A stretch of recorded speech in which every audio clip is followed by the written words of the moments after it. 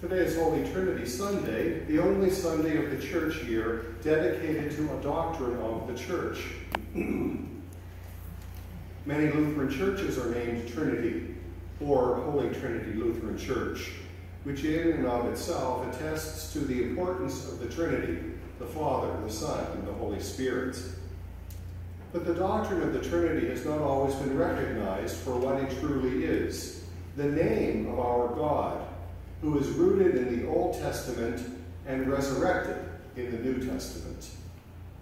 There were times when it seemed to be just an intellectual exercise or a highbrow theological construct.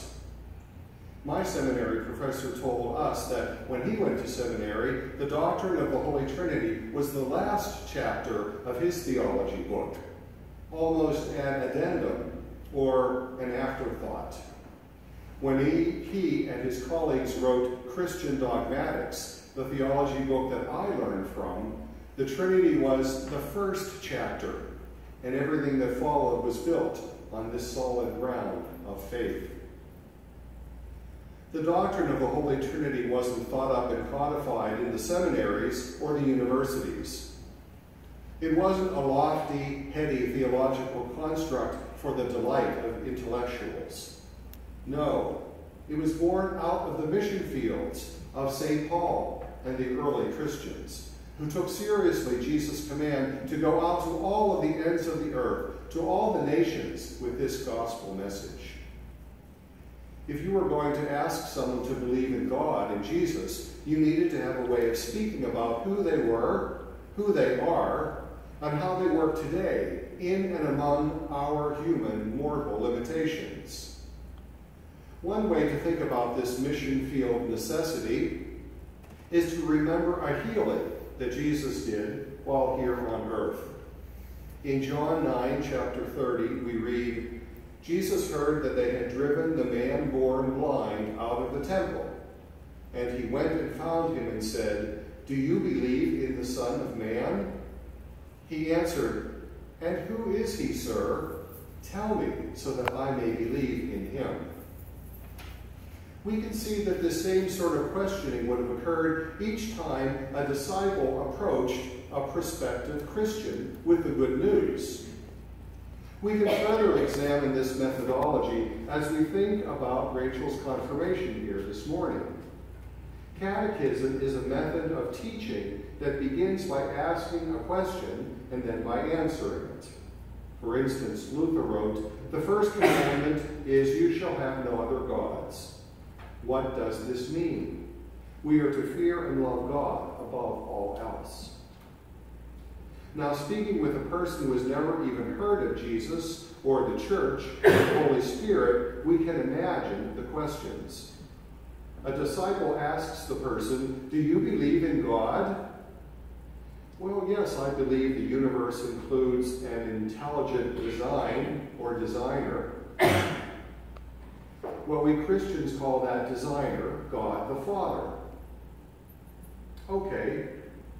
We also believe that the Father has sent his Son Jesus to suffer death on a cross and to save humanity from the human condition in which it hopelessly finds itself enslaved. Who is this Jesus? Then the disciple tells the story of Jesus' life, death, resurrection, and ascension. Then the postulate asks, if the Father and the Son are in heaven, as you just told me, how do they accomplish anything here on earth? The disciple then speaks about the Holy Spirit, the power of God in and among us every day, moving, shaping, blowing, breathing life, and directing God's will to all the faithful.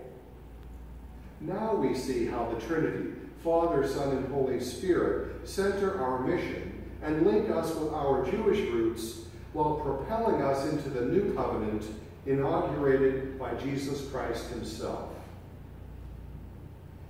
We also do, however, need to acknowledge that this Holy Trinity is an unknowable mystery of faith. And we might even be a bit lighthearted as we ponder our human limitations. Luther wrote this to, talk, to try to deny the Trinity endangers your salvation, but to try to comprehend the Trinity endangers your sanity. And similarly, John Wesley wrote, Bring me a worm that can comprehend a human being, and then I will show you a human being that can comprehend the triune God. Our own ELCA founding documents speak eloquently of the Holy Trinity. In our statement of beliefs, we find these words Lutherans believe in the triune God. God created and loves all of creation, the earth and the seas, and all of the world's inhabitants. We believe that God's Son, Jesus Christ, transforms lives through his death on the cross and his new life. And we trust that God's Spirit is active in the world. End citation. The Trinity is a gift. It is also a mystery. May we give thanks for the God who permits us to address and name them Yahweh, Abba, Christ, Paraclete, Father, Son, Holy Spirit, the Holy Trinity. Amen.